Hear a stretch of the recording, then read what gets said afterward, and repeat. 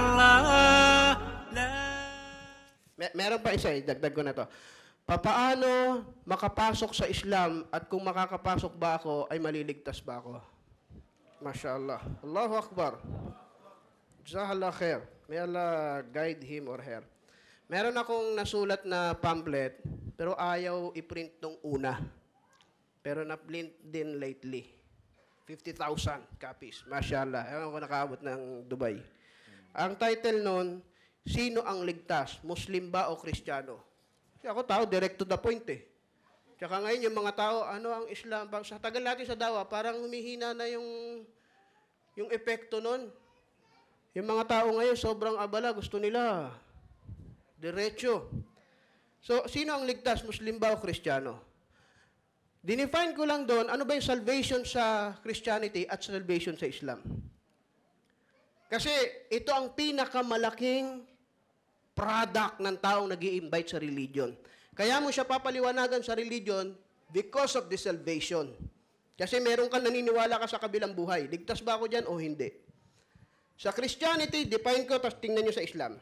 Sa Christianity, ang salvation ay sa pamamagitan ng pagtubos ni, G- ni Jesus Christ sa kasalanang namana mo. Sa original sin. Lahat, eto ha, talinuhan natin, ma- mahal kong kababayan. Pinanganak ang mga Kristiyano, tayo, nang may kasamang original sin na namana natin sa ating magulang na si Eva at Adan. Yun pa lang, ganun ba ang Diyos? Paglabas mo sa mundo, may kasalanan ka? Yun pa lang, mag-isip tayo. At kinakailangan mamatay ng anak ng Diyos, pinakapaborito niyang anak. Kailangan niya mamatay para sa kasalanan mo, tutubusin. At sa pamamaraan na yon, ikaw ay ligtas. Tinubos ka na sa kasalanan mo. Sinasabi ko lang yung doktrina, ewan ko kung na-amaze kayo, pero ito yung totoong doktrina ng Christianity. Kaya sabi nila, pagkatapos mo mabautismuhan, naligtas ka na sa kasalanan. Natubos ka na at nandun na yung salvation. Kaya pag nagkasala ka ulit, nabautismuhan ka na eh, pinapako mo na naman si Jesus Christ.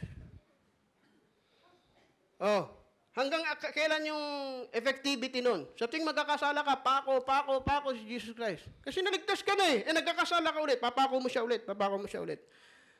So pag tinanggap mo si Jesus Christ as your own personal Savior, salvation. Meron ka ng kaligtasan.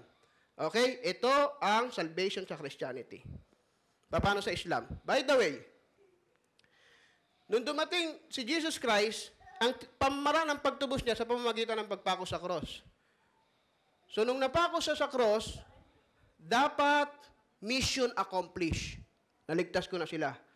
Pero kung mag-iisip tayo, sabi sa Bible, nung pinako ko siya sa cross, ang sabi ni Jesus Christ, Eli, Eli, lima sa baktani. Sister tang ng Arabic yung Aramaic eh. Diyos ko, Diyos ko, bakit mo ako pinabayaan?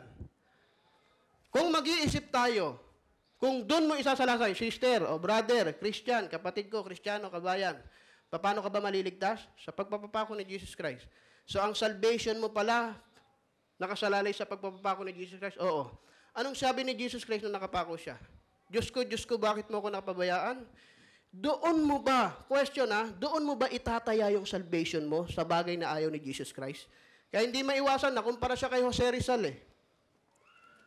National hero.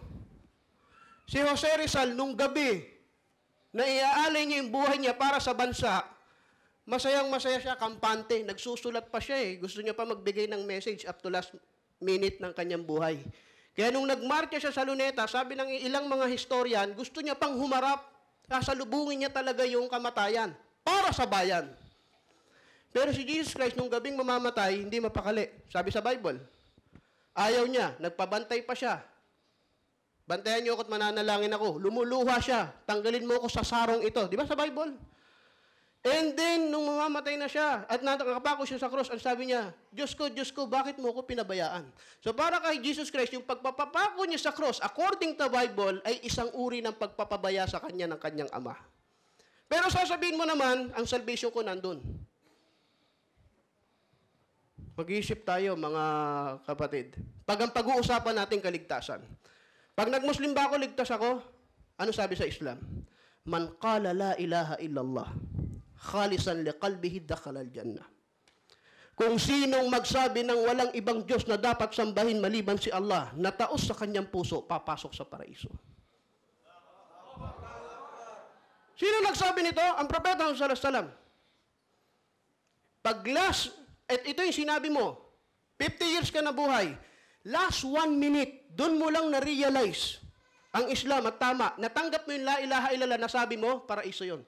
Kahit yung 50 years mo puro pagpapakasama. Sino nagsabi? Propeta Muhammad sallam. Kaya kami, bago kami nag-Muslim, Iglesia ni Cristo kami. Sorry kami, Iglesia ni Cristo dito. Pero bago ka ma-bautismo sa Iglesia ni Cristo, kailangan mo kumpletuhin yung doktrina.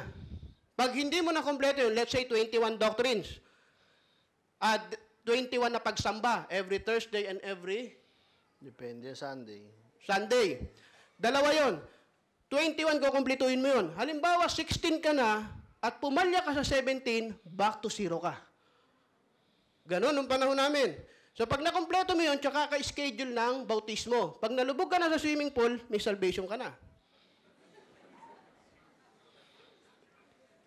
Sa Islam, hindi ganun eh. Kaya nga, paano ang salvation sa Islam? Sa Saudi Arabia, meron kaming kinakausap ng mga pulis. Ang capital accident, car accident sa buong mundo ay dito sa Middle East. At kabilang doon yung malaking road ng Saudi Arabia, yung, yung ring road. Araw-araw may aksidente doon. May mga police rescue team na nakaabang doon, hindi pala i-rescue sila.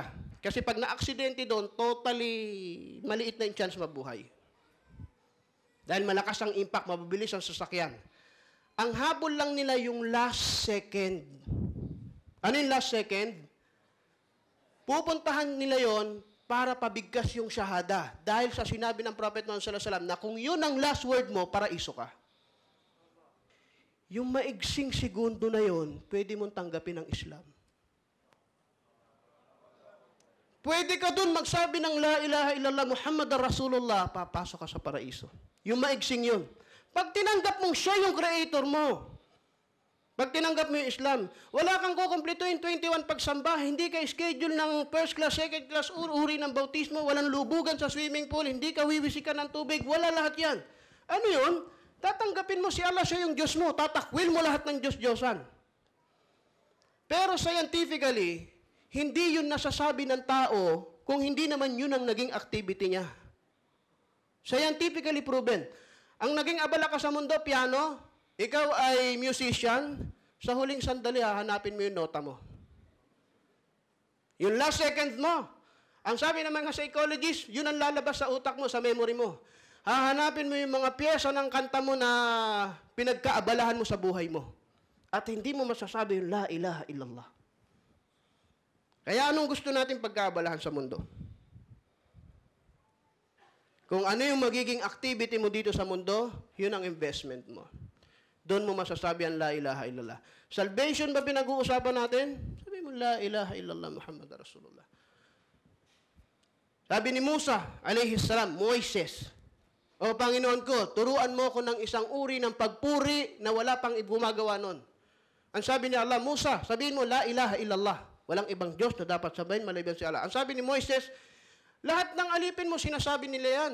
Parang gusto niya ng iba. Ano sabi ni Allah? Ya Musa, hindi mo ba alam na kung yung la ilaha illallah ilalagay sa timbangan at sa kabilang timbangan ay ang lahat ng mga langit at mga lupa ay magiging mas mabigat pa rin ang la ilaha illallah.